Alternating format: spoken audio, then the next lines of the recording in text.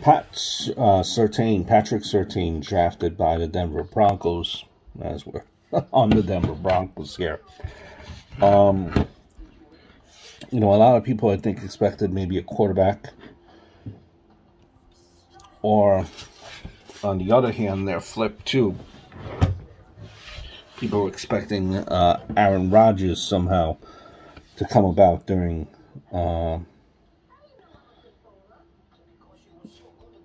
during uh, draft day there.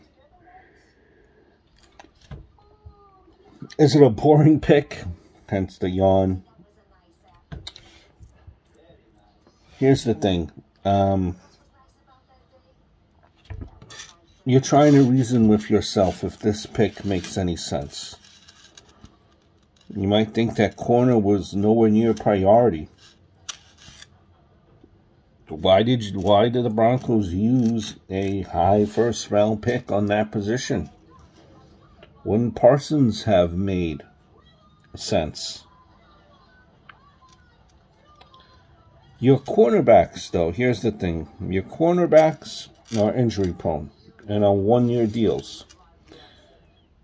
To trade back for Parsons uh, would have, listen, could have also been a good pick.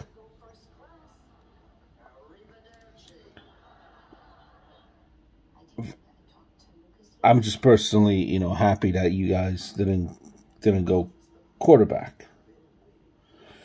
To it's to me, uh, Parsons a little bit uh, isn't the greatest in coverage, and maybe makes poor precisions uh, in pursuit. A flaw, not all the time. Sometimes it gets the better of him. Um, look.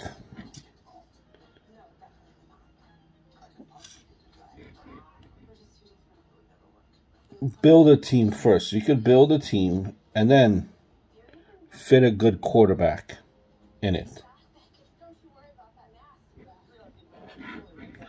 There's still time for that. Um,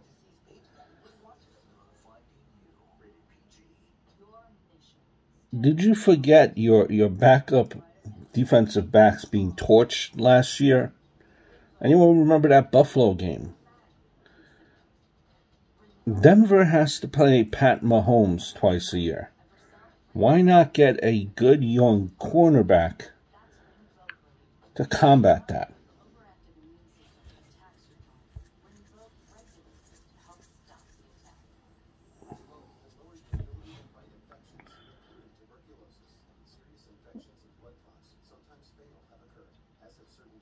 I think that's the way to go.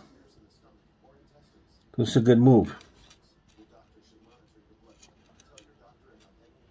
He's built to play against tight ends. And that's tough to find. Valuable, very valuable, I think, in this league and division. Look, Travis Kelce, Jared Cook, Darren Waller. I hope all is well.